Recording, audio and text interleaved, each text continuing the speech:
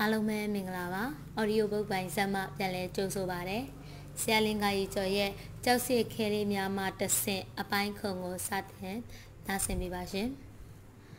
1988ခုနှစ်သည်လွတ်လပ်ရေးရပြီးနောက်ပိုင်းမြန်မာနိုင်ငံတွင် အပြောင်းအလဲအများဆုံးနှစ်တစ်နှစ်အဖြစ်နာမည်ကျော်ခဲ့သည်ဘူရဲနဲ့တော့ဘာမှမဆိုင်လိုက်သလို ကိုယ်တိုင်ကရှေ့တန်းမှာအသက်လူပြီးရှင်သန်နေထိုင်နေရတာမှန်တော့လဲမြမပြည်အပြောင်းအလဲအားလုံးကတော့သူ့မျက်ွယ်တွင်ဖြစ်သွားခဲ့သည်မဟုတ်ပါလားတငယ်ချင်းဘူသိန်းလွင်ကတော့ကြည်စဲသည်ဒါသမိုင်းပြခမည်းသမိုင်းကိုလွတ်သွားတာနာတာပဲထိုစဉ်ကမြမရုပ်မြင်တန်ကြားမှာပြသနေသည့်ရုပ်တံဇလန်တွဲတစ်ခု၏အမည်မှာ21ရာစုမှာဘတ်ရော်ဂျာဟုအမည်ရသည့်ဇလန်ဖြစ်သည်အာကာသထဲတွင်မိမျောနေရာကနှစ်ပေါင်းများစွာကြာပြီးမှ ကဘာကိုပြန်ရောက်လာတော့အာကာသရင်မှုဘတ်ရော်ဂျာအကြောင်းတကယ်တော့သူ့ဘဝလည်းဘတ်ရော်ဂျာနဲ့တော်တော်ဆင်သည်ဟုပူရဲတွေးမိသည်ကွာရာကတော့ပြန်လာရသည့်ခရီးကပိုပင်ပန်းကြမ်းတမ်းတာများဖြစ်လေမလားမသိ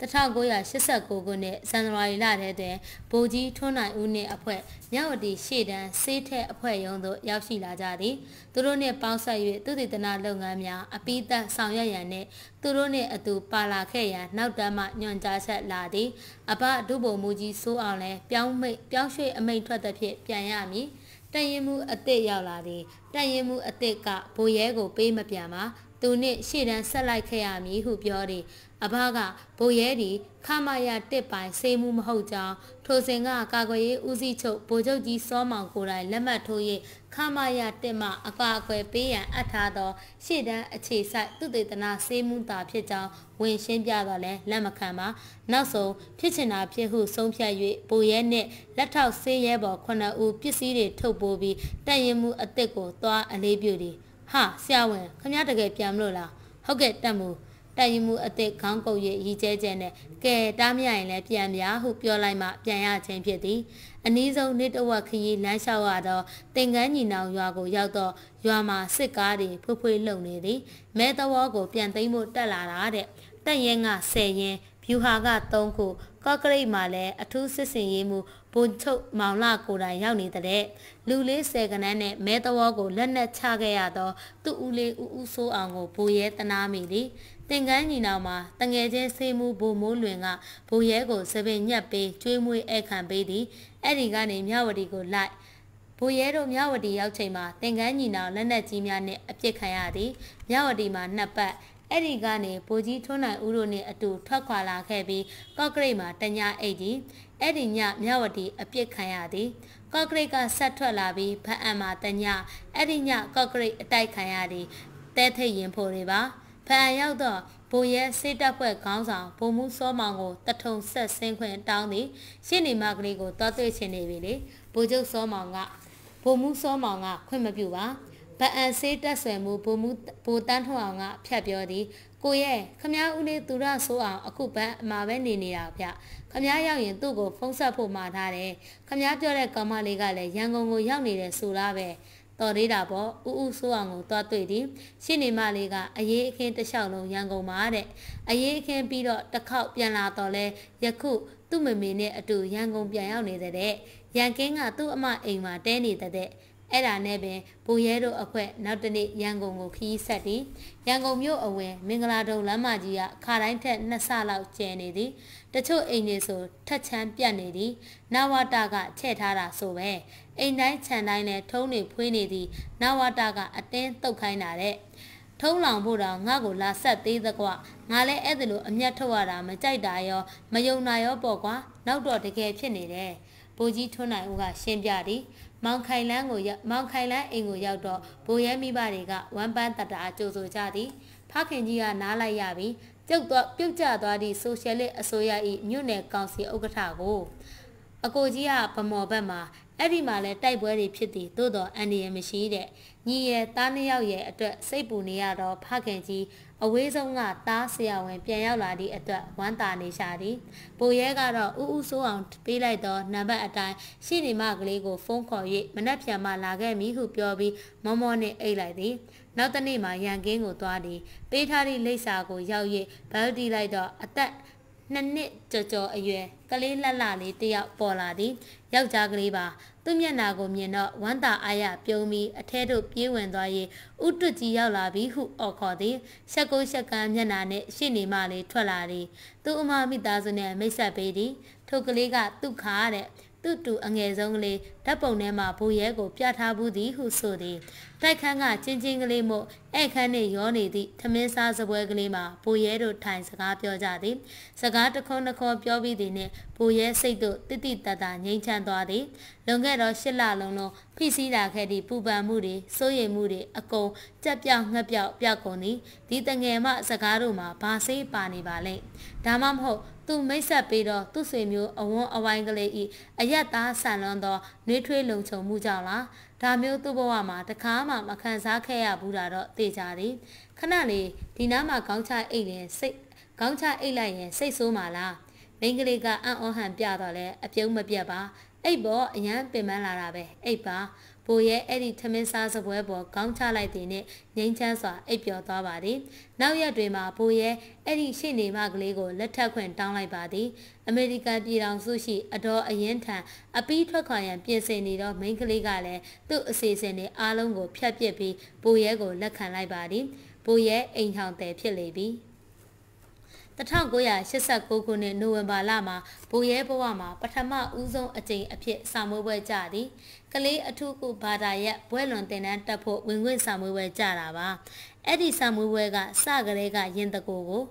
စိတ်ဓာတ်ကကြစေရာဒီပလိုမာတစ်နှစ်တက်ပြီးမှဝင်ခွင့်ထပ်ဖြည့်ပြီးမဟာသိပ္ပံနှစ်နှစ်တက်ရသောဘာသာရက် ရခင်ကတော့စစ်မှုထမ်းနေသူတွေအရက်ဖက်မှာစာမွေးပွဲဖြည့်ခွင့်မရှိသဖြင့်ကိုနှစ်မဆိုင်သလိုပင်ထင်ခဲ့သည်နောက်တော့ပေးဖြည့်မီအောင်လျင်အရက်ဖက်ပြန်ပြောင်းပေးမည်ဟုဆို၍ဒီပလိုမာမေကွန်းဟောင်းနေလိလာပြီးစာချက်သည်ဒီတခါကလည်းဘုံမှုဖြစ်သွားသည့်ကိုထွန်းနိုင်ဦးဟာကာကွယ်ရေးဝန်ကြီးဌာနစေးဝန်တန်းညွှန်ကြားရေးမှူးရုံးမှသူ့ကိုခေါ်တွဲထားသဖြင့်တေဆုံးကြဆုံးစစ်တီစေးမှတ်တန်းတွေလက်မှတ်ထိုင်ထိုးလိုက်စာကြက်လိုက်လုပ်နေခဲ့ရသည် စိတ်မကောင်းစရာကတော့သူနဲ့ရှေ့တန်းမှာအတူနေခဲ့ရတော့တေဖို့တေဖက်တချို့သူပြန်လာပြီးမှကြဆုံးကြ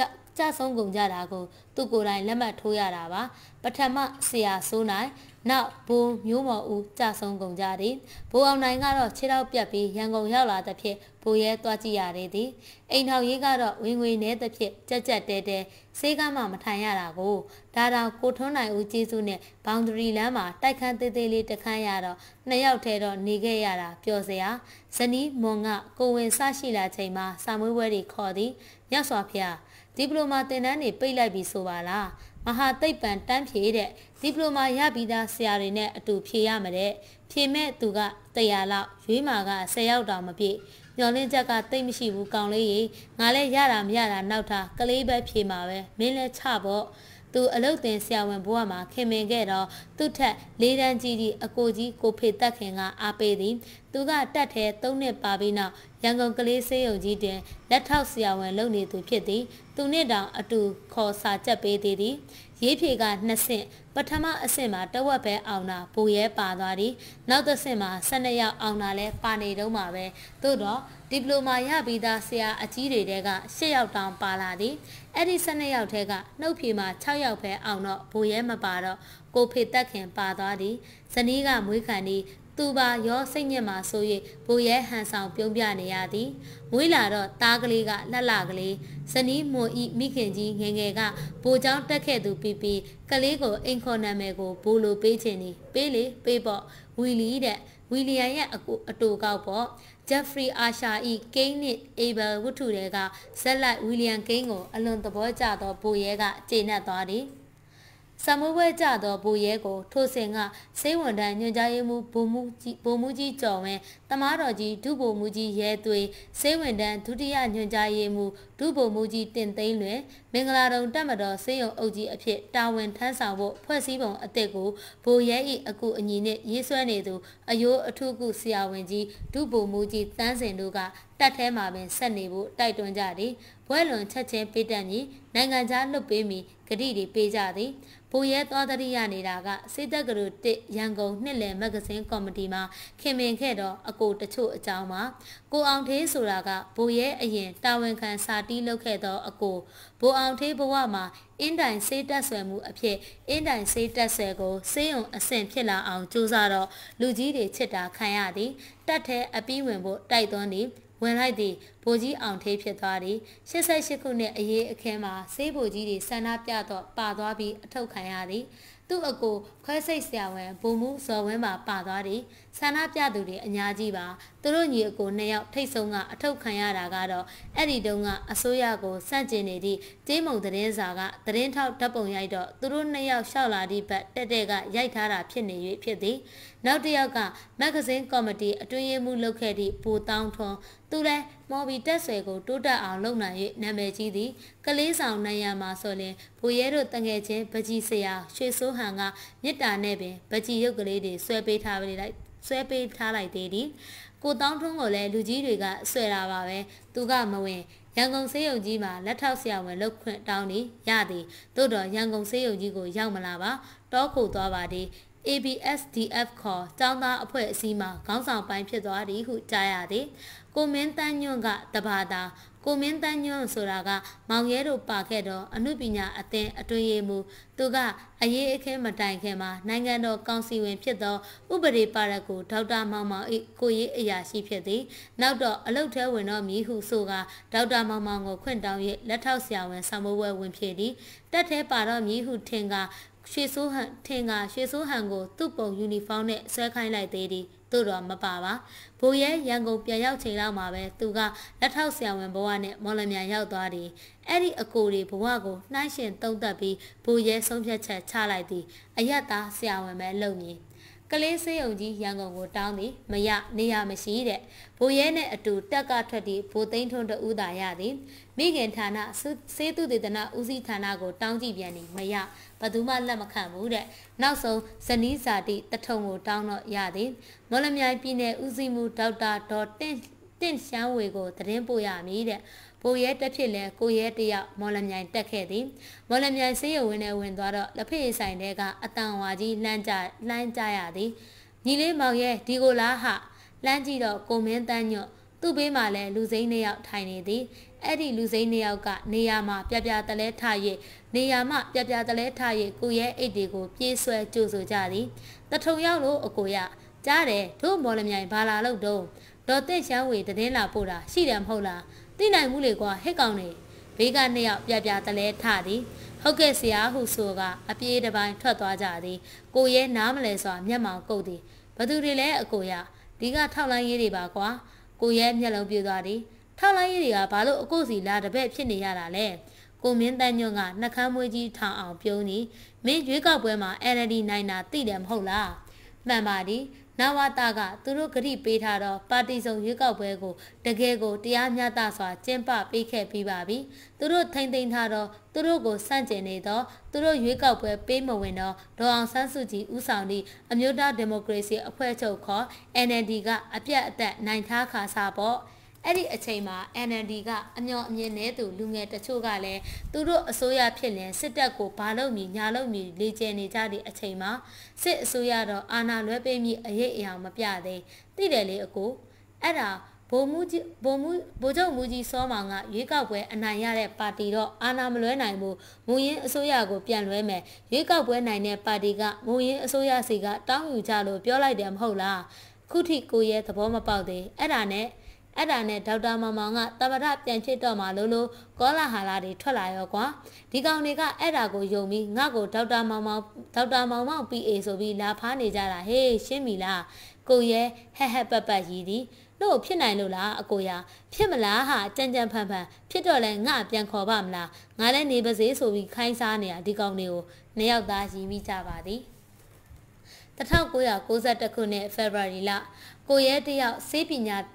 မဟာသိပ္ပံကလေးကျမ်းမာရေးသင်တန်းသားဖြစ်သွားသည်။ဝင်ခဲ့ဆောင်မွေးပွဲအောင်သည့်နေ့ကဝီလီကလေးကိုအားရပါရပြည့်မြောက်၍ငါသားကလေး specialist သားဖြစ်ပြီးကွာဟု ကျုံဝါခဲ့သေးသည်တနစ်မပြည့်သေးတော့ကလေးမှာဘာမှနားမလဲရှာပါတကယ်ဘွဲ့လွန်ဆက်သက်သောပြဿနာတွေကအများကြီးအဓိကအကျဆုံးပြဿနာကတော့ပတ်စံမရှိတာပါပဲလင်မယားနှစ်ယောက်စုမိသမျှထုတ်ငွေမှငွေ2400ပဲရှိသည်ဘွဲ့လွန်ចောင်းသားဆိုတာဟိုပြေးဒီပြေးလို့ရမည်ကားမပြောနဲ့ဆိုင်ကယ်ဘူးတော်မတက်နိုင်ဘတ်ကားတစ်ချိန်လုံးအားကိုးနေဖို့လည်းမဖြစ်နိုင်တဲ့ဖြစ်စပိန်တစီပြေးဝယ်သည်သူများစီးပြီးသားအဟောင်းကို2400ပေးရသည်အဲ့ဒါရန်ကုန်ပို့ပတ်စံ ရန်ကုန်ပို့ကုံရောပတ်စံဒုသနာပြဒုတိယပြဿနာကနေစရာမရှိခြင်းမောင်ခိုင်လန်းနေအိမ်ကနဝတအစိုးရမူရင်းပိုင်ရှင်များကိုပြန်အမ်းလိုက်ပြီးအိမ်ပြည်သူပိုင်အသိမ်းခံရသူများကိုအိမ်ကိုပြန်ရကြသည့်ထဲမှာရှာရှာပါပါလက်လွဲရောင်းချမထားတာကိုရဲဖခင်တဦးတည်းတော့သာရှိသဖြင့်ရိုးရိုးသားသားပင်အိမ်ချေရမဲ့အိမ်ချေရာချေမဲ့သွားသည် စမ်းချောင်းဘက်မှတိုက်ခန်းချင်းချင်းကလေးကို9သိန်းခွဲနဲ့ဝယ်နေသည်ထိုစဉ်ကပင်သိန်းရာချီတန်သောတိုက်ခန်းကြီးကိုပြန်ရသည့်တထေးကလည်းကူညီရှာပါသည်ပြဿနာကဖခင်ကြီးနဲ့အတူနေတော့သားငယ်နှစ်ယောက်စလုံးကအိမ်ထောင်ကြနေပြီတယောက်ဆိုကလေးပါရှိသည်အဲ့ဒီအိမ်ပေါ်ကိုရဲတို့မိသားစုဘယ်လိုလုပ်တက်လို့ရမလဲကိုရဲတယောက်တည်းတက်တာတောင်နေစရာအခန်းမရှိ မိဘနှစ်ယောက်ဤဂရင်ချေရင်မှာဂရင်တစ်ခုကန့်လန့်ထိုးရနေအဝတ်အစားတွေစာအုပ်တွေကိုဂရင်အောက်မှာထားစာချက်ဖို့ကိုသူများတွေထမင်းစားပြီးမှထမင်းစားစပွဲမှာကြက်ဇနီးနှင့်ချက်မဝသေးသောတားကလေးကိုတော့တထုံရောက်ခမစီစီမှာပဲထားခဲ့ရသည်နှစ်နှစ်ပြည့်လင်အထူးကုဆရာဝန်ဖြစ်မှာပဲဆာမွေးဝဲကြားခဲ့တောင်အလွန်ဆုံးနှစ်နှစ်ခွဲပေါ့ပြီးရင်လာခေါ်မည်ဟုဂရိတွေပေးခဲ့သည်ဆာမွေးဝဲကမကြပါသို့သောဇနီးနှင့်ကလေးတွေကိုပြန်ခေါ်နိုင်တော့ရှစ်နှစ်တိတိကြာခဲ့ချေတကား အဓိကအကြဆုံးပြဿနာတွေကရန်ကုန်ကလေးစေးရုံကြီးကနေစောင့်နေသည်ကလေးအထုကုဆရာဝန်ဖြစ်ချင်ရေးသာတည်တင်နှန်းတက်သည်ကိုရဲတခါမှကလေးစေးရုံမှာအလုပ်မလုပ်ဘူးပါ ရုပ်စွာအစုံနောက်ဆုံးနှစ်စေးချောင်းသားဘဝနဲ့အလုတ်တင်ဆရာဝန်ဘဝမှာပင်ရန်ကုန်အရှိပိုင်းစေးရုံကြီးမှာတာဝန်ကျခဲ့တာဖြစ်သည်အဲ့ဒီခေတ်ကကလေးအထုကုပွဲလွန်တင်တန်းကတနိုင်ငံလုံးမှာတနေရာသေးတာရှိသည်ရန်ကုန်ကလေးစေးရုံကြီးမှာပါတနစ်ကို၄၅ယောက်သာတက်ခွင့်ရပြီးကိုရဲတို့နှစ်ကစံချိန်တင်၉ယောက်တက်ခွင့်ရသည်တက်မတော်စေးတက်မှ၂ယောက်ပါပါလာတော့၁၁ယောက်အဲ့ဒီထဲမှာကိုရဲကတတိယအငယ်ဆုံးလူ တာဝန်ခံဆရာကြီး၄ယောက်ကအဓိကတင် जा ပေးကြသည်အဲ့ဒီ၄ယောက်ကိုလည်းကိုရဲအရင်ကတခါမှမစုံခဲ့ဘူးပါတင်တန်းကြမှာတွေ့ရတာပါကိုရဲကလွယ်၍တင်တန်းတက်သူအများစုကတော့အဲ့ဒီဆေးရုံကလူတွေပဲမို့ဆရာတွေနဲ့လည်းရင်းနှီးပြီးအလုပ်သဘောကိုလည်းသိပြီးတာကိုရဲတို့ကတော့ကွဲတော်တာပါပဲ မလုတ်တတ်မကင်တတ်မပြောတတ်မဆိုတတ်သူများထက်တာတာဆိုလို့ကိုမတက်တာကိုမတက်မှန်းကိုဟာကိုအမြဲသိတာရဲ့ဝန်ခံမှုဝင်မလေးတတ်တာရဲ့ပဲရှိသည်အတိုင်ခံရတာကလည်းမကင်းညတာဝန်ကြလဲအတူတာဝန်ကြဆရာဝန်တချို့ကကိုနဲ့အတူစာမွေးပွဲဝင်ဖြေပြီးကြကြံခဲ့သူတွေဖြစ်နေသည်အများစုကတော့သဘောထားကြီးကြတော့လဲလူတိုင်းတော့မဟုတ် အမောင်ထဲမှာလမ်းလျှောက်ရင်းပြက်ပြမြင်နေရသည့်လမ်းစာကလေးတော့ကို့အပေါ်တန်းမှာတက်နေသည့်အကိုကြီးကိုဖေတက်ခင်နဲ့အတူတက်နေသည့်အကိုကြီးကိုတန်းထိုက်တို့တငယ်ချင်းနှစ်ယောက်ပါပဲသူတို့နှစ်ယောက်ကကိုရဲကိုချစ်လဲချစ်ကြသည်ပြီးတော့ဘလို့အခက်အခဲဒုက္ခမျိုးကိုမဆိုရည်စရာအမြင်ကပဲပြောတတ်သူတွေဖြစ်နေကြသည်လေ အကိုကြီးကိုဖေသက်ခင်ကတော့အစားတော်သူပြီးပြီးအသေးစိတ်လည်းတင် जा ပေးရှာသည်ကိုရဲတို့စတက်ပြီးမကြခင် UK ကနေ MRCP အောင်ပြီးပြန်လာသည့်ကလေးအထုကုဆရာဝန်၃ယောက်ထပ်ရောက်လာသဖြင့်ဆရာအင်အားတိုးလာသည်အဲ့ဒီထဲကအသက်အငယ်ဆုံးဆရာဦးအေးမောင်ဟန်က ကိုရဲတို့အုပ်စုဤသူရဲကောင်းဖြစ်လာသည်ဆရာကစူတာကျမ်းတော်လဲစေတနာကထက်တန်သည်ပြန်လည်ဆွေးနွေးခြင်းကိုအားပေးသည်တသွေးတတန်တမိတ်ဆိုတာမျိုးမလုပ်ညီးတွားတာအားလျှော့တာပြီးဆိုတဲ့လုပ်တာမျိုးတွေကိုတော့ဘယ်တော့မှလက်မခံဆရာကိုမြင်တော့စိတ်အားတက်လာပြီးကိုရဲမောင်းတင်မိသည်အဲ့ဒီမောင်းကတနစ်ကြာတော့ကျိုးတာပါပဲတင်နန်းတက်ပြီးတနစ်အကြာမှာဆောင်းမွေးပွဲဖြေရတော့ကိုရဲကြသည်၁၁ယောက်ဖြေရမှာတယောက်ပဲအောင်တာဆိုတော့ကြတာစိတ်သက်ကြစရာမဟုတ် အစမ်းသဘောမျိုးစစ်ပြီးတော့ဆောင်းမွေးပွဲဆိုတော့အတန်းကြတာမျိုးလည်းမရှိစိုးတာကဗိတ်ချီကနေတာပါ၁၁ယောက်ထဲမှာအညံ့ဆုံးကြောင်းသားကြတာကလည်းလူနာဆန်းတာမှားရကြတာဆရာတွေရဲ့မျက်စိထဲမှာလည်းအောင်ဖို့မျောလင်းချက်မရှိတော့ကြောင်းသားဖြစ်နေလေပြီအဲ့ဒီမှာကိုရဲဤစိတ်ဓာတ်တင်းစိတ်ဓာတ်တင်ထားတော့မောင်ကျိုးတော့တာပါပဲမောင်ရဲကနေကလာရတဲ့ဆရာဝန်ဆိုတော့ကလေးနဲ့ပတ်သက်လို့အတွေ့အကြုံနေတာတော့အမှန်ပဲ အခုလဲမမတို့မင်းကိုစိတ်ပူနေတယ်ဘယ်လိုကူညီနိုင်မလဲမင်းစဉ်းစားမိရင်ပြောပါဦးလူကြီးပိသားရဲ့အလွန်တမာတမတ်ကြသည့်ဌာနမူပါမောက္ခဒေါ်သိမ့်သိမ့်မြင့်ကစိတ်ပူစွာမေးသည်တတိတတိမောင်ရဲ့တတိမင်းအခုဖြေလိုက်မဲ့အဖြေမှာမင်းအနာဂတ်ပါနေပြီမင်းအားလျှော့တဲ့စကားပြောလိုက်လို့ကတော့အထုကုဆရာဝန်လောင်းနဲ့တစက်မှတူစရာအကြောင်းမရှိတော့ဘူးရပါတယ်မလိုပါဘူးဆိုတဲ့စကားမျိုးပြောရင်လည်းအခုလိုအနေအထားမှာမင်းကို စိတ်ပုံမှန်မရှိဘူးလို့ပဲသတ်မှတ်တော့မှာဆရာ၈ယောက်ဤမျက်လုံး16လုံးကကိုရဲဤမျက်နာကိုစိတ်ပူစွာစိုက်ကြည့်နေကြသည်ကိုရဲကတလုံးချင်းဖြေသည်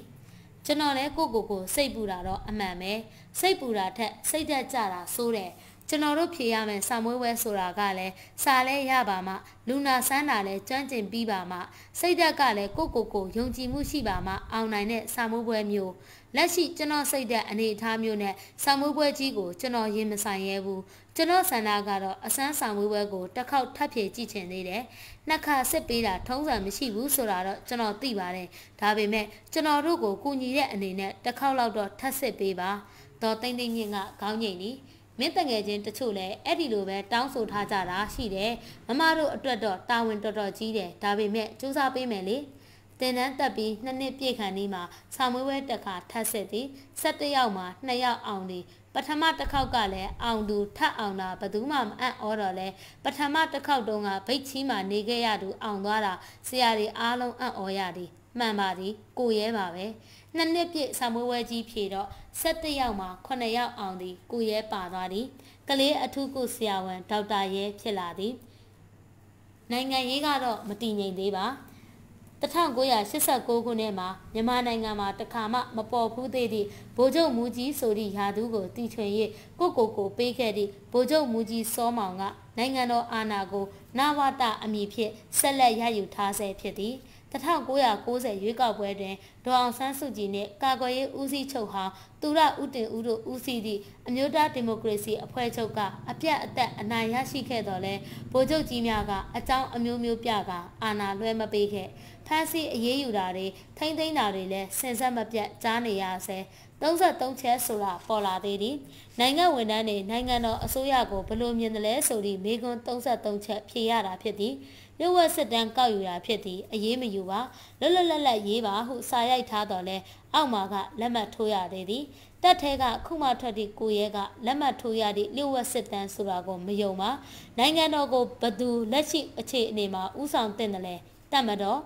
ဘယ်အဖွဲ့အစည်းကိုယုံကြည်တယ်လဲတတ်မတော်33ချက်စလုံးအဖြေမှန်တော့ဘာမှမဖြစ်အဖြေမှန်သူအဖြေမမှန်သူတချို့တော့ထွက်သူထွက်ရသည်ရာထူးချထားခံရသူလည်းရှိသည်ယုံအောင်လေလျှို့ဝှက်စစ်တမ်းဟု ကိုရဲတောက်တီးမိသည်ကိုရဲဦးလေးတယောက်ယာတုကြပုံကအဆန်းဆုံးသူကစေတုတေသနဦးစီးဌာနမှာစာကြည့်ရိုက်မှုလုပ်နေသူဖြစ်သည်ပြီးတော့တက်မတော်အစိုးရကိုအလွန်ယုံကြည်ကြည်ညိုတိုက်ဝင်သူဖြစ်သည်နိုင်ငံတော်ကိုဘလို့အဖွဲ့အစည်းမျိုးကဥဆောင်တင်တယ်လဲဆိုသည့်မေကုန်းကိုသူကအင်အားတောင့်တင်း၍ပြည်သူလူထုကယုံကြည်ကိုးစားသောအဖွဲ့အစည်းဟုဖြေလိုက်သည်အဲ့ဒါနဲ့ယာရုချပြီးဒုတိယစာကြည့်ရိုက်မှုဖြစ်သွားသည် သူထက်ငယ်သူကစာကြည့်ရိုက်မှုဖြစ်သွားတဲ့ဖြင့်သူအဲ့ဒီယာရုနှင့်ပင်ပင်စင်ယူသည့်အထိလှုပ်သွားရရှာသည်ဦးကဘာလို့အဲ့လိုရေးလိုက်တာလဲငါဆိုလိုတာကတတ်မတော်လေကွာတတ်မတော်ဆိုတာအင်အားတောင့်တင်းပြီးပြည်သူလူထုယုံကြည်ကိုးစားတဲ့အဖွဲ့အစည်းဆိုတာလူတိုင်းသိတာပဲ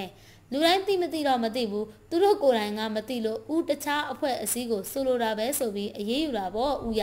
ငိုအားထက်ရီအားတန်ရမဲ့ပုံပါပဲညမကြမီရုံးနေမှာကတ်ဖို့စာတန်းကြီးတွေရောက်လာပြန်နီ နိုင်ငံတော်၏အကြီးအကဲသည်မြည်သူဖြစ်တယ်လေဗိုလ်ချုပ်မူကြီးစောမောင်ဖြစ်သည်နေသည့်အဖွဲ့အစည်းကိုအခြေခံတယ်လဲတက်မတော်ကိုအခြေခံနေဘယ်ဥပဒေနဲ့အုပ်ချုပ်တယ်လဲမာရှယ်လောနဲ့အုပ်ချုပ်သည်ကလေးစေယုံကြီးတွေမှာလည်းအဲ့ဒီစာတွေကတ်ရသည်ကလေးစေယုံကြီးမှာလည်းအဲ့ဒီစာတွေကတ်ရသည်အဲ့ဒီအချိန်ကကိုရဲတို့အောက်တန်းအနေနဲ့ဘွဲလွန်စာတန်းထပ်ခေါ်တော့အင်တာဗျူးမှာအဲ့ဒါတွေမေးသည်ဖြစ်ချင်တော့အလွန်ရိုးအားသည့်အမကြီးတယောက်ကအဲ့ဒီအင်တာဗျူးဝင်ဖြေသည် ဆရာမကြီးနိုင်ငံတော်ရဲ့အကြီးအကဲဟာဘသူဖြစ်တယ်လဲဗိုလ်ချုပ်ခင်ညွန့်မှာမေးသည့်ညွန်ကြားရေးမှူးချုပ်တွေမျက်နာတွေတွန့်လင်ကုန်သည်နဝတခေါ်နိုင်ငံတော်ညီဝတ်ပြပြရဲ့အဖွဲ့မှာဥက္ကဋ္ဌကဗိုလ်ချုပ်မူကြီးစောမောင်ဖြစ်ပြီးအတွင်းရေးမှူးကဗိုလ်ချုပ်ခင်ညွန့်မှာသို့သောထောက်လန်းရေး၏အကြီးအကဲဖြစ်သောဗိုလ်ချုပ်ခင်ညွန့်ကိုဥက္ကဋ္ဌထက်ပို၍ကြောက်နေကြသောခေဖြစ်၍မှားပါသည်ဟုလည်းမပြောရဲတေချာရတာဆ iam မကြီးရဲ့ပြန်စင်းစားပါအောင်အော်သိပြီဗိုလ်ချုပ်မူကြီးခင်ညွန့် ဒါလဲငိုအားထက်ဤအားတန်ရသည့်အဖြစ်အပျက်ပါပဲအဲ့ဒါအဲ့ဒီဆရာမကြီးလည်းအင်တာဗျူးအောင်သွားပါသည်များမကြမီမှာဗိုလ်ချုပ်မူကြီးစောမောင်ကိုကျမ်းမာရေးအရာအနာပေးလိုက်သည်ဆိုသည့်အမိန့်ကိုဗိုလ်ချုပ်ခင်ညွတ်လက်မှတ်ထိုး၍ထုတ်ပြန်သည်ဗိုလ်ချုပ်ကြီးတန်းရွှေနောင်ဗိုလ်ချုပ်မူကြီးတန်းရွှေကနိုင်ငံတော်အကြီးအကဲဖြစ်လာသည်ဒေါအောင်ဆန်းစုကြည်ကတော့အိမ်တွင်းမှာပင်အထိမ့်သိမ်းခံရလိုက်ပြန်လွတ်လိုက်ပြန်ထိမ့်သိမ်းခံရလိုက်သူရဥတင်ဦးကတော့ထောင်ထဲမှာကြာသည် ကိုရဲဤဖခင်ကတော့ဗိုလ်ချုပ်ခင်ညွန့်ကိုမွန်ရီသည့်လူငယ်တဦးအဖြစ်စသိပြီးယာရုအာနာရှိလာချိန်တွင်လည်းလူမှုဆက်ဆံရေးပြည့်ပြည့်သည်ဟုကြားရသဖြင့်ဆက်၍ချီကျူးနေတတ်စမြဲဒေါက်တာရဲ့တယောက်ကလေးအထုကုဆရာဝန်ဖြစ်ဖြစ်ချင်းမှလည်းဘဝမှာအရေးကြီးသောအပြောင်းအလဲတွေနဲ့ကြုံရသည်တခုကတထုံမှနေရင်ရန်ကုန်ကိုဆင်းလာလိုက် အမတူအိမ်မှာကိုရဲနဲ့တပတ်လောက်အတူလာနေလိုက်တထုံကိုလနဲ့ချီပြန်နေလိုက်လုံနေသောဇနီးမွန်ကဒုတိယကိုဝင်ကိုရန်ကုန်မှာလာမွေးသည်ချစ်စရာကောင်းသောကမီးကလေးတယောက်ပါအဖွားဖြစ်သူကကန်ဒီဟုအင်္ဂလိပ်နာမည်ပေးပြန်သည်သမီးမွေးရဲ့မိမမအစေးယုံကမစင်ရသေးဒေါက်တာရဲ့တင်တန်းတစ်ခုတက်ရသည်ဆရာဝန်များအထူးမွမ်းမှန်တင်တန်းအမတ်စင်9တဲ့နဝတကဖွင့်တာပါဝါရဖြန့်တင်တန်းမှာပဲဖောင်ကြီးမှာတလားတက်ရသည် ကျွန်တော်ကိုဆရာဝန်ကြီးများဆရာဝန်မကြီးများနာမည်ရင်းပြောပြရင်တိတိကြပါတော့မလားမသိဘူးအများသိတဲ့နာမည်တစ်ခုပြောရရင်တော့နေ့စဉ်သတင်းစာတွေထဲမှာပြောပြရင်လည်းအောင်မင်းလွန်ရကြမယ်ဆိုတဲ့နာမည်နဲ့စောင်းပါးတွေအခန်းဆက်ရေးနေတဲ့အောင်မင်းဟာကျွန်တော်ပါခမညာရှေ့ကဟောပြောပို့ချနေသည့်ပုဂ္ဂိုလ်ကြီးကိုဒေါက်တာရဲ့သိပါသည်ဖခင်ကြီးထက်အနှဲငယ်သာငယ်ပြီးတက်ထဲတွင်ခင်မင်ခဲ့သူတူပါပဲ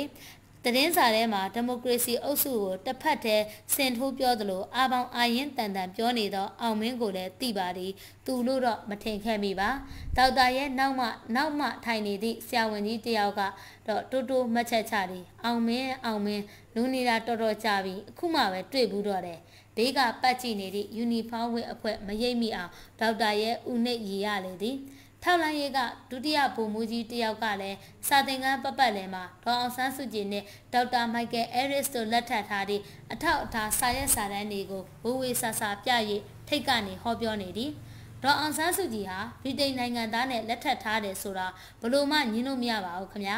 အပြင်ကအထောက်အထားတွေကိုဆရာဝန်ကြီးတွေလေ့လာနိုင်ပါတယ်ဒေါက်တာရဲတို့တယောက်မျက်နှာတယောက်ကြည့်မိကြတယ်နှုတ်ဘ누구ကညင်းနေမိလို့လဲပေါ့ ဝါရဖြန့်လာတော့ပညာပါပါအဆင့်တန်းရှိရှိမဖြန့်နိုင်သူတွေဤတလတင်တန်းကိုတက်လိုက်ရသည့်အတွက်ရသည့်တခုတည်းသောအကျိုးကတော့တင်တန်းစင်စင်ချင်းဖြေဖို့စောင့်နေသည့်တော်ဝင်သမားတော်ရွေးချယ်စာမိုးပွဲကိုကြခြင်းဖြစ်သည်နှမျောလိုက်တာ10နှစ်မှတစ်ခါလာသည့်အခွင့်အရေးမျိုးအမကြီးလိုခင်နေသည့်ကလေးအထုကုဆရာဝန်ကြီးဒေါက်တာဒေါ်ယူဇနာစောမြင့်ကတော့အားပေးစာသည်ငါမောင်ရဲ့နင်ကငငယ်ကလေးနဲ့ MSc ရထားတာ ကြုံရအောင်မှာပေါ့အားမလျှော့ပါနဲ့ကဘာကြီးကျင်းမြောင်းပုံကလည်းအံ့ဩစရာထိုဒေါက်တာဒေါ်ယူဇနာစောမြင့်ဤဖခင်သည်ဒေါက်တာရဲ့ဤဖခင်ကိုဘိုးဖြစ်အောင်အတင်းစာမှုပွဲဖြေခိုင်းခဲ့တော့ဘိုလ်မှုကြီးစောမြင့်ပါပဲ1998ခုနှစ်မတ်လစကော့တလန်ပြည်နယ် UK နိုင်ငံ ဒေါက်တာရဲ့တယောက်ဘယ်လ်ဟေးစေးရုံဝင်အတွင်ဆရာဝန်များစုနေသည့်အင်္ဂလိပ်ရှေ့လမ်းကလေးအင်္ဂလိပ်ရှေ့လမ်းပေါ်ကကြောက်စက်ခဲကလေးများကိုငေးကြည့်နေမိသည်လူကသာ UK နိုင်ငံမှာကလေးအထုကိုဆရာဝန်အငယ်အဖြစ်အလုပ်လုပ်နေရင်ပညာတော်သင်ရောက်ရှိနေသည်စိတ်ဓာတ်ကရင်းနစ်နေတာပါရင်းနစ်နေလို့လဲစမ်းချောင်းအောက်ခြေကကြောက်စက်ခဲကလေးများကိုပဲမြင်အောင်နေတာဟုထင်သည်ဇနီးက35နှစ်ဇနီးက1သားက1သမီးက1 အတူနေစရာအိမ်မရှိသေးစီးစရာကားကဝေး MRCP ခေါ်တော်ဝင်တမားတော်ဘွဲ့ဆောင်မွေးဝဲကဝင်ခွင့်နှခဖြေအောင်အပိုင်းကကြီးတစ်ခါဖြေအောင်အပိုင်းခခွေတစ်ခါဖြေကြ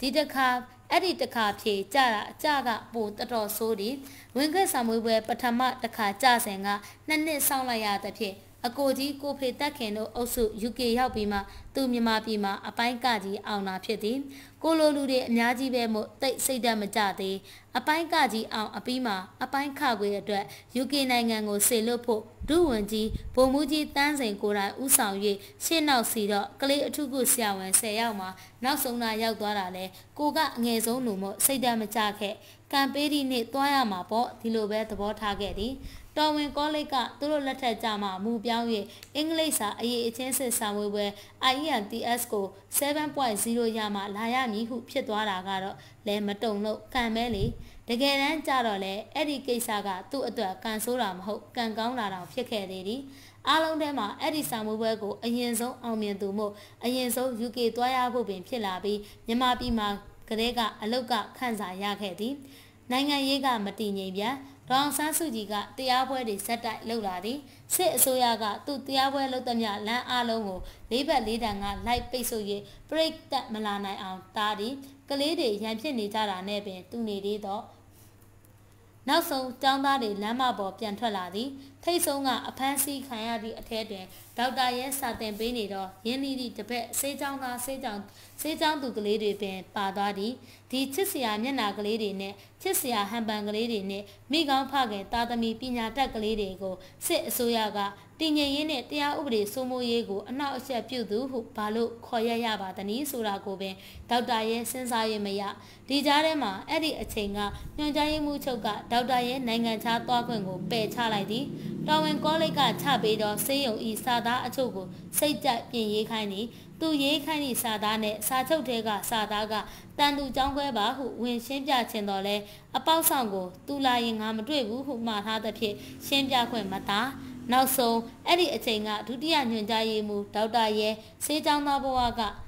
ဆရာရင်ဥမာမဝင်းဝင်ရှင်းပြတော့မှအောင်မြင်သွားသည်နှစ်လလောက်နောက်ကျနေပြီ1996ခုနှစ်ဒီဇင်ဘာလ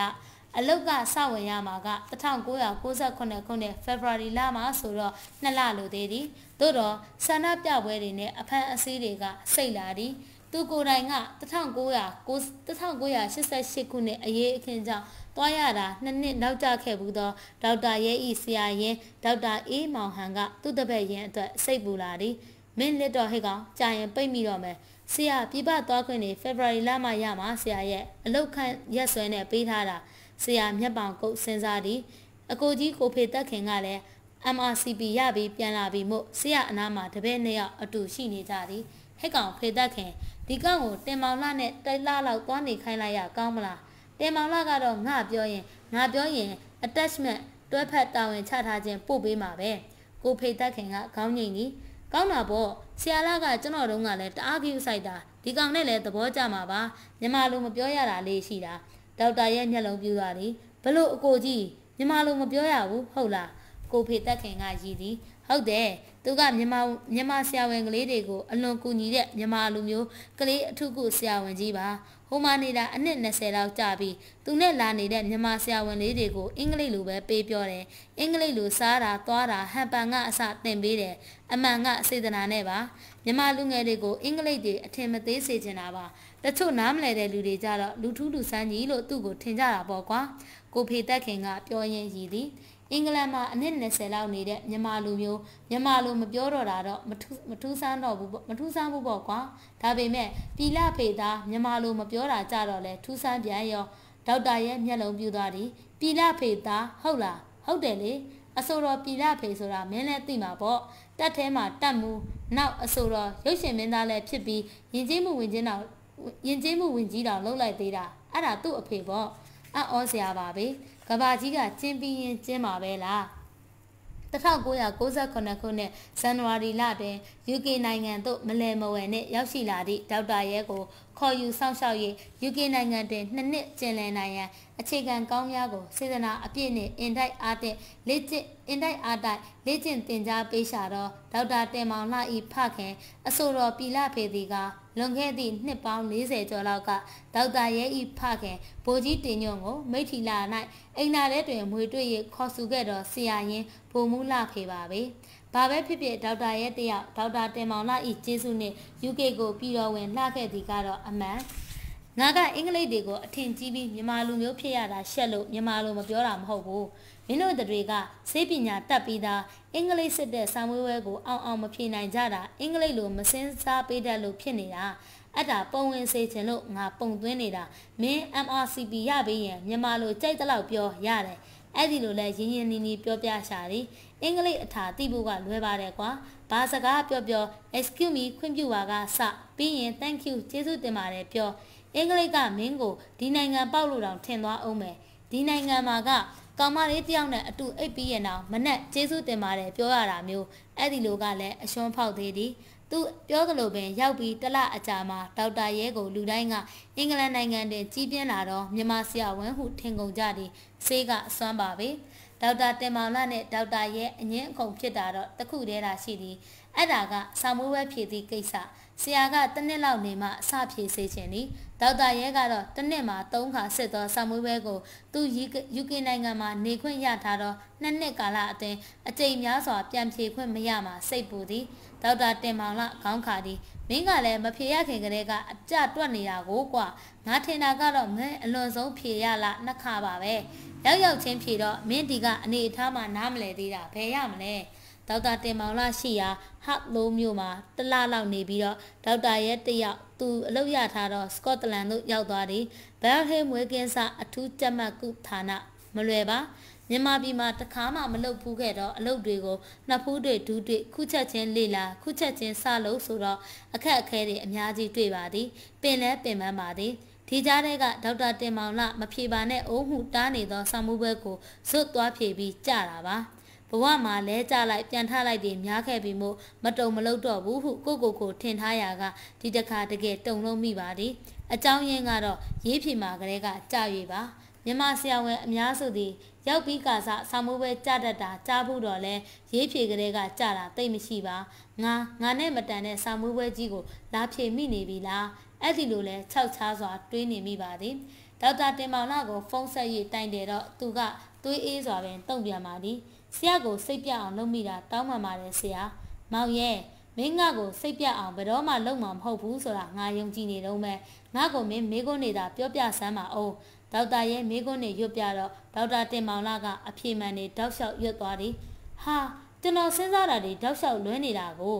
ငါပြောသားပဲဒါမင်းနေကြမိကုန်းနေကွာမင်းရောက်ရောက်ချင်းဖြေတော့ဘယ်ကြားဘူးမလဲစိတ်အေးအေးထားအောင်ရင်သာဟယ်လိုကိုလာခဲ့ငါတို့ညစာထွက်စားပြီးအောင်ပွဲခံကြမယ်ရွေးစရာလည်းတခြားလမ်းမရှိပါဘူးရောက်နေပြီးမှတော့ဆက်အလုပ်လုပ်ဆက်ဖြေုံသာ ဒါနဲ့ပဲညနေတိုင်းအိမ်ရှိလမ်းပေါ်ကကြောက်စစ်ခဲကလေးများကိုထိုင်ငင်းနေသည့်အကျင့်ကိုဖျောက်၍စာပြန်ကျက်ရသည်ဘယ်ဟေး6လစာချုပ်အပြီးမှာမြမဆရာဝန်တွေကိုအလွန်ချစ်သည်ဟုနာမည်ကြီးနေသောစကော့ဆရာဝန်ကြီးဒေါက်တာဘာကလေးရှိရာဇောဆေးရုံတို့ပြောင်းရွှေ့တာဝန်ထမ်းဆောင်နေရာမှာစာမွေးပွဲကိစ္စတစ်ခုနဲ့ဒေါက်တာဘာကလေးကိုတွေ့ခွင့်တောင်းပြီးတွားတွေ့လိုက်ရာ ဒေါက်တာဘာကလေးကသူအင်္ဂလိပ်စကားပြောတွက်တာကိုသဘောကျသည်ဟုဆိုပြီးအလုတ်တန်းခန့်လိုက်တဲ့ဖြစ်ငါကန်ကအမြဲတမ်းတော့စိုးမနေနိုင်ပါဘူးဟုဖြေတွေးကလေးတွင်းမိသည်လောကိုပြောင်းရွှေ့ချိန်မှာမြန်မာဆရာဝန်တွေထပ်ရောက်လာတဲ့ဖြစ်အရင်ကလောက်အထီးကျန်မဆန်တော့ဆောင်းမွေးပွဲထပ်ဖြေသည်ဒီတခါတော့ရေးဖြေအောင်သွားသည်သို့တော့လက်တွေ့မှာကြပြန်သည်လဲပြန်ပဟပြန်ထပေါ့ရဲ မင်းကြတယ်ဆိုတာမဖြစ်တဲ့ကိစ္စပဲငါလဲတာဝန်မကြည့်သလိုခံစားရတယ်ဒီတော့ဒီနေ့ကစပြီးမင်းညက်နေအလုတ်ဆင်းရင်မပြန်နဲ့ငါလည်းမပြန်ဘူးမင်းကိုအ ਨੇ ဆုံး2နာရီလောက်စာထိုင်တင်ပြီးမှပြန်မယ်9မိုင်လောက်ကားမောင်းပြန်ရမည်ခြေထောက်တစ်ဖက်မတန်တော့အသက်50ကျော်အရွယ်စကော့ဆရာဝန်ကြီးဒေါက်တာဘာကလေးကဒီတို့ဆိုလာတော့အသက်36နှစ်အရွယ်ဒေါက်တာရဲ့ဘာပြန်ပြောရမှန်းမသိဒါနဲ့ပဲအားတွေတက်လာပြီးဆာမိုးဘဲကိုပြန်ဖြည့်သည်အောင်သွားသည် အောင်သာမ MRCB ဘွဲ့အဲ့ဒါကိုကလေးဘာသာနဲ့အောင်မြင်၍အသစ်ဖွင့်လှစ်သောတော်ဝင်အထူးကုသမားတော်ကောလိပ်ကထပ်ဆင့်ချီးမြှင့်သော MRCB MRCBH ဘွဲ့နှစ်ခုစလုံးရယုံနှင့်တောင်မချေနှက်၍ Glasgow တော်ဝင်သမားတော်နှင့်ခွဲစိတ်ဆရာဝန်များကောလိပ်ကစစ်ဆေးသော DCH စာမွေးပွဲကိုပါဆက်ဖြည့်ပြီးဘွဲ့သုံးခုပိုက်၍မြမပြည်ပြန်လာနိုင်ခဲ့သည်။ ကိုယ်တိုင်အထက်တန်းပညာသင်ခွင့်မရခဲ့တော့လဲသားသမီးပညာရေးနဲ့ပတ်သက်၍အလွန်အိမ်မက်ကြီးခဲ့သူဖခင်ကြီးကိုပြဖို့ဘွဲလက်မှတ်သုံးခုယူ၍အသက်တရောအိမ်ပြန်လာခဲ့သူဒေါက်တာရဲ့တယောက်ရင်းနှင်းစရာတစ်ခုနဲ့တက်တက်တိုးရလေတော့သည် ဒေါက်တာရဲ့ UK နိုင်ငံရောက်ရှိနေစဉ်အတွင်းစီးပွားရေးလူမှုရေးအခက်အခဲတွေကြောင့်ရန်ကုန်မှာမနေဖြစ်တော့ပဲရွာမှာပြန်နေသူဖခင်ကြီးတယောက်မျက်စိရေတိမ်ယောဂါကိုမှန်မှန်ရက်ချင်းပြန်မပြရဖြစ်ရာကရေတိမ်ဖိအားများပြီးမျက်စိနဲ့ပတ်ကွယ်ခဲ့ရှာလေပြီဒေါက်တာရဲ့ပြသောဘွဲလက်မှတ်တွေနဲ့ဘွဲဝစ်စုံနဲ့ဓာတ်ပုံတွေကိုမကြည့်နိုင်ရှာတော့ပါ 1996မှ2009ခုနှစ်အထိ၈နှစ်တာကာလကိုတော့ဒေါက်တာရဲ့ဘဝမှာလှိုင်းတဘိုးထံသောကာလဟုခေါ်ရပေလိမ့်မည်။ကောင်းတာလေးတွေလည်းရှိပါသည်။လက်ထပ်ပြီးကလေးကအတူမနေရသလောက်ဖြစ်နေသောဇနီးနှင့်မွေးပြီးကလေးကအတူမနေခဲ့ရသောသားနဲ့သမီးတို့ကိုရန်ကုန်တွင်ခေါ်ထားနိုင်ရန်ကန်ထရိုက်တိုက်ခန်းလေးတစ်ခုဝင်နိုင်ခဲ့သည်။တထုံရှိအလဲတန်းကျောင်းကလေးတွင်တက်နေရသောသားနဲ့သမီးကိုဆရာရင်ဒေါက်တာအေးမောင်ဟန်၏ဆောင်းမဆောင်ရှောက်မှုတွေနှင့် သူတော်ငငယ်ကအနားမကတ်နိုင်ခဲ့တော့အထက်ကတဲ့တကုံမှာကြောင်းပြောင်းထားနိုင်ခဲ့သည်ငငယ်ကကစားတာတောင်ရေခဲချောင်းရောင်းတန်းကစားခဲ့သောတားဝီလီကိုအဲ့ဒီလိုမျက်နှာကြီးကျောင်းမှာစားလိုက်နိုင်ပါမလားဆိုပြီးစိုးရင်စိတ်ကြီးခဲ့ရာကအံ့အားသင့်စရာတောင်ကြုံရသေးသည်သားကိုရှစ်တန်းအောင်ပြီးနေရာဒီကျောင်းပိတ်ရဲ့နိုင်ငံခြားဘာသာတက္ကသိုလ်ကဖွင့်လှစ်သောအင်္ဂလိပ်စာသင်တန်းတလသွားထားခဲ့သောနှစ်သားတင်တန်းဆင်းနေနေ့မှာ အဲ့ဒီဘက်စေကန်းတစ်ခုသွားရဲလမ်းကြုံတဲ့ဖြစ်ကလေးတင်တန်းဆင်းပွဲကိုဝင်တက်မိသည်ဆေးရသားပထမရလို့လာတာလားကလေးလာပြဘူးသူမိဘတဦးကမေးတော့ဒေါက်တာရဲ့မျက်လုံးပြူသွားသည်သားဘေးကသားကိုလှဲ့မင်းမိသည်သားမင်းပထမရတာလားဟုတ်ဒီနေ့မှပြောတာလားစကလေးကပြောထားပါတယ်မင်းဖေဖေကိုဘာလို့မပြောလဲ စကားနဲ့တော့သားကပခုံးတာတွန့်ပြသည်ဟုတ်တာပေါ့တက်တက်လုံးအဖေနဲ့မနေခဲ့ရတဲ့ကလေးအဖေကိုဝမ်းတာလဲလာပြောဝမ်းနဲ့လဲလာပြောလိမ့်မည်ဟုဘလို့လို့မှန်းဆရရမှာလဲလေခဏနေတော့ကျောင်းအုပ်ကြီးကတွေ့ချင်သည်ဆို၍ဒေါက်တာရဲသွားတွေ့ရသည်ဆရာသားကိုကျွန်တော်တို့ကတိုဖယ်မေကွန်းနေချစစ်လိုက်တာသူကဆယ်တန်းအောင်နိုင်ငံခြားတက္ကသိုလ်ဝင်ခွင့်ဖြေထားတဲ့ကလေးတွေရသလောက်ကိုရနေတာခုမှ၈တန်းပဲရှိသေးတယ်သူပညာရေးနဲ့ပတ်သက်လို့ဆရာပါဆက်လုပ်မယ်စိတ်ကူးလဲ ဒေါက်တာရဲ့ပါဆက်အဟောင်းသားဟုတ်ပကိုပညာရေးပဲကိုလုံးပန်းနေလိုက်တာကလေးကအရွယ်ရောက်လာပြီပညာရေးကလေးပညာရေးလုပ်ပေးရတော့မည်အရွယ်ဆိုတာလုံးလုံးလဲလဲကိုမေ့နေခဲ့ပါလားစစ်အစိုးရကနဝတဆိုတဲ့နာမည်ကနေနိုင်ငံတော်အေဂျင့်တာယာရေးနဲ့ဖွံ့ဖြိုးရေးကောင်စီနာအာဖဟုအမည်ပြောင်းလိုက်သည်အရက်သားအစိုးရကိုအာဏာလွှဲပြောင်းပေးမိပုံတော့မပေါ်သေးဒေါ်အောင်ဆန်းစုကြည်ကိုလည်းအကျယ်ချုပ်ထားစေ ထောင်ပေါင်းစုံမှာလည်းနိုင်ငံရေးသမားပေါင်းစုံဒေါက်တာရဲတို့နဲ့ဓာတ်ရိုက်ဆိုင်တဲ့ကိစ္စကတော့ပြည်တွင်းပါရဂူဘွဲ့ PhD တင်တန်းတွေဖွင့်လှစ်ပြီးနိုင်ငံခြားကတော်ဝင်သမားတော်တွေဘွဲ့ဘလောက်ရလာပါစေပြည်တွင်းပါရဂူဘွဲ့မရှိရင်ပါမောက်ခရာတူမပေးဟုကြေညာလာတာဖြစ်သည်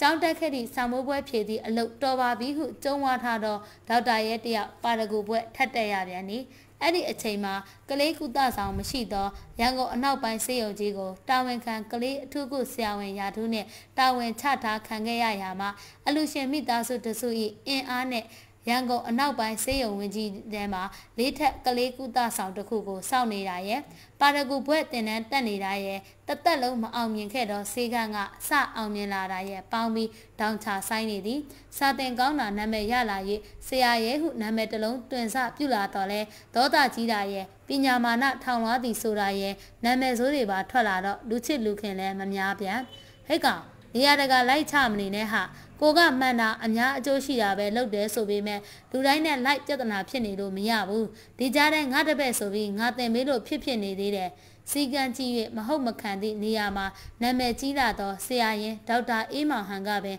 တတိပေးရသည့်အထိဖြစ်လာသည်အကိုကြီးကိုဖေတက်ခင်ကတောင်းငူမှာသူလဲရန်ကုန်လာတိုင်းကိစ္စတိုင်းထိတ်တိုက်လို့လိုက်မလို့ဖို့အဆုံးမရှာသည်က လေးအထုကုဘွဲလွန်တင်တာဖြည့်ဆိုမိဆရာဝန်ကလေးတွေကိုမေတ္တာဖြင့်တက်တက်စာသင်ပေးနေရကတပည့်တပန်းတွေအများကြီးဖြစ်လာတော့လဲရန်ရန်သူတွေအများကြီးပါတိုးပွားလာတာတော့အမှန် ဒီကြားထဲမှာတက်ထဲမှာကလေးကခင်မင်ခဲ့တော့မန္တလေးစေတက်ကတော်မှတနစ်ထဲကြောင်းပြီးခဲ့တော့မိရဲ့သားဖွာအထုကုဆရာဝန်ကိုစိုးလွင်ကငယ်စဉ်ကစာရေးစာယူပေယူဖြစ်ခဲ့ဘူးတာအတူတူမှသိသူမို့သူစာတွေပြန်ရေးခွင့်ရချိန်မှာကိုကိုလည်းစာပြန်ရေးဖို့ဆွဲသည်ပထမတော့ကလေးကျမ်းမာရေးပညာပေးစောင်းပါများနောက်တော့ယတဝတ္ထုတို့ကလေးများပါရေးဖြစ်လာသည်ထိုစဉ်ကကျမ်းမာရေးပညာပေးစောင်းပါကို လူကြော်ညာသည်ဟုလူကြီးတွေကအမြင်ဆောင်တတ်ကြသည့်အချိန်မို့ဆရာရင်ဒေါက်တာအေးမောင်ဟန်ကတားသေးသည်ပိုးထနေပြန်ပြီဖြစ်သောဆရာရဲ့တယောက်တားမရတော့ပါထို့ကြောင့်1996မှ2009ခုနှစ်အထိရှစ်နှစ်တာကာလကိုလိုင်းတဘိုးတို့ထံသောကာလဟုသတ်မှတ်တော်လဲကောင်းလာကလေးတွေလည်းရှိခဲ့သည်ဟုဆိုရခြင်းဖြစ်လေသည် 2005ခုနှစ်မှာပါရဂူဘွဲ့ထပ်ရသည်ပြီးတော့ဝတ္ထုရှည်ရေးဖို့မျှော်လင့်ချက်ရောင်ကြီးကလေးတောင်တန်းလာလိုက်သေးသည်ငယ်စဉ်အလုတ်တင်ဆရာဝန်ဘဝရေးခဲ့သောဝတ္ထုရှည်တစ်ပုဒ်ကိုနာမည်သိမ့်မကြီးသေးသောစာပေမဂ္ဂဇင်းတစ်ခုကိုပြကြည့်ရာကြိုက်သည်အခန်းဆက်ထည့်ပေးမည်ဟုဆိုကာယူသွားသည်မထည့်လိုက်ရပါထိုမဂ္ဂဇင်းအရှုံးပေါ်၍ပိတ်သွားပါသည်2006ခုနှစ်က2006ကအလိုင်းအထန်ဆုံးနှစ်ပါမကွေးတို့ပြောင်းရပါသည် စေတက်ကလေးတစ်ခုထပ်ဖွင့်ဖို့ကိုပညာရှင်တွေရွေးထားသောမြို့သုံးမြို့ကိုပယ်၍ဖွင့်ချလိုက်တော့မကွေးစေတက်ကလေးတော်တော်ဆရာစားသောတက်ကလေးဟုပြောရမည်ဖြစ်သည်ဆရာတယောက်ပို့လိုက်မလေးရှားရောက်သွားလိုက်နောက်တစ်ယောက်ကိုပို့လိုက်ဘရူနိုင်းရောက်သွားလိုက်ဘသူမှမသွားချင်တော့မြို့ကိုမခံချင်စိတ်တစ်ခုတည်းနဲ့ပင်ဆရာရဲ့အရောက်သွားခဲ့ပါသည်မိသားစုကိုတော့ဒုတိယအကြိမ်ထားခဲ့ရပြန်နေစေကန်းထိုင်စရာမရှိရင်စာရေးမယ်လေဘာဖြစ်သေးလဲဟုပင်ကျုံဝါပြလိုက်သေးသည် ဝတ္ထုတွေကလေးတွေကလည်းလူကြိုက်များစွာပြုလာသည်ပထမမထည့်ဖြစ်ခဲ့သောဝတ္ထုရှည်ကိုလည်းနောက်ထပ်စာပေမဂ္ဂဇင်းတစ်ခုကလာတောင်းယူသွားပြီးအခန်းဆက်ထည့်သည်ဒါလည်း6လပဲခန့်ဒီမဂ္ဂဇင်းပိတ်သွားပြန်သည်နောက်မဂ္ဂဇင်းတစ်ခုကဆက်ထည့်ပေးသည်9လပိုင်းမှာဆက်သိမ်းသွားသည်ဘသူမှမသိလိုက်စာအုပ်တိုက်တိုက်ကလုံးချင်းအဖြစ်ပုံနှိပ်ထုတ်ဝေပေးသည်ထက်ထက်ချင်းအုပ်ရည်900တဲ့ရိုက်တာတောင်ရောင်းမကုန်ယတစာရေးဆရာဘဝလူမသိသူမသိညှိကုံချုပ်သွားသည် တားဝီလီကဆယ်တန်းကိုထိုးချွန်စွာအောင်သည်အာရဝန္တာဆေးကြောင်းတက်ခိုင်းတော့ခေါင်းခါသည်ဖဖေးလောက်ဆရာဝန်ကြီးဖြစ်တာတာခုထက်တည်းသူများမကွေးပို့လိုက်မှာတို့မကွေးကပြန်ပြောင်းမပေးမှာတို့ကိုကြောက်နေရတာဆရာဝန်လောက်ရတာဘာကောင်းလို့လဲအဲ့ဒီလိုပြောတော့ဆရာရဲ့ဘာဖြေရမှန်းမသိတားကဘာတက်မှာလဲတားနိုင်ငံခြားတက္ကသိုလ်တစ်ခုခုတက်ဖို့စူးစမ်းခြင်းနဲ့ဖေဖေ တားရဲ့ဖေဖေကမကွေးမှာဆေးကမ်းမှာကောင်းကောင်းထိုင်လို့မရတာတားနိုင်ငံခြားကျောင်းစီဘယ်တက်နိုင်ပါတဲ့လဲတားစကောလာရအောင်ရှောက်ပါမယ်သူအဲ့ဒါလောက်ပြတ်သားနေတော့လဲဆရာရဲ့ဘာမှမတက်နိုင်တော့မကွေးရောက်ပြီးနှစ်နှစ်အကြာမှပြောင်းလာသည်ရန်ကုန်တော့မဟုတ်မန္တလေးကိုဖြစ်သည်2008ခုနှစ်မန္တလေးမှာဆယ်လကြာနေထိုင်နေတော့ဘဝမှာတခါမှမထင်ထားခဲ့ဘူးသည့်ကိစ္စတစ်ခုဖြစ်သွားသည်အမျိုးသားစာပေဆိုရတာပါ သူရေးပြီးကွဲသည်ဟုသူဟာသူတတ်မှတ်ထားသည့်ဝတ္ထုရှည်ကအမျိုးသားစာပေစုရပြီးနာမည်ကြီးသွားသည်ရုပ်ရှင်ရိုက်ဖို့လည်းလာဝယ်သွားသည်သူဒုတိယဝတ္ထုရှည်ကိုထုတ်ဝေပေးမိသူလည်းပေါ်လာသည်တကယ်ကိုယတ္တစာရေးဆရာပြန်ဖြစ်သွားပါသည်2009ခုနှစ်မှာသူမကွေးတို့ပြန်ရောက်သွားသည်ဒီတခါတော့ပါမောက္ခဌာနမူအဆင့်အသက်48နှစ်မှာအဆုံးစွန်အထိယာတုတက်ခဲ့တာကိုပဲဂုံယူရမှာလားအသက်48နှစ်အထိ မိသားစုနဲ့အတူနေခွင့်မရသေးတာကိုပဲဝမ်းနေရမှာလားဝေခွဲ၍မရအဲ့ဒီနှစ်မှာပဲဖခင်ကြီးဆုံးပါရှာတယ်နေပြီးတော့အစည်းအဝေးကနေရန်ကုန်မှာဆေးရုံတက်နေရသောဖခင်ကြီးစီအပြေးဖခင်ကြီးအသက်ကိုသူမမီလိုက်ပါ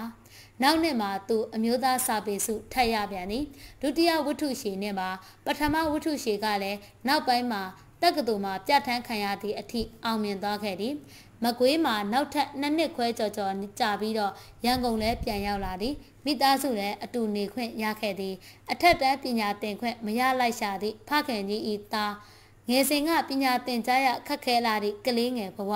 အဲ့ဒီဘဝကဒီလောက်အထိခရီးပေါက်ခဲ့တာသူ့ကိုယ်သူခြေနဲ့တင်တော့ခြေနဲ့ပါသည်ဆရာလိုဖြစ်အောင်ဘယ်လိုလုပ်ရမလဲဆရာအဲ့ဒီလိုမေးလာတဲ့သူ့ကိုအားကြတော့လူငယ်ကလေးများတော့မကြာခဏတွေ့တတ်လေသည် သူတို့မိကုန်းကိုတော့သူမဖြေတတ်သေးသူမျက်စိထဲမှာတော့သူငငယ်ဖခင်ကြီးတက်ရှိရာဂေါ်ရာကုန်းကိုလိုက်လိုက်သွားရင်အဲ့ဒီမှာတွေ့ရသည့်ကြောက်စက်ခဲကလေးများကိုသာမြင်အောင်၍နေတတ်လေသည်အပိုင်းခွန်ကိုဤသွင်းအဆုံးသတ်ပါမည်နားဆင်သူအားလုံးကိုကျေးဇူးတင်ပါသည် Audio Book by Z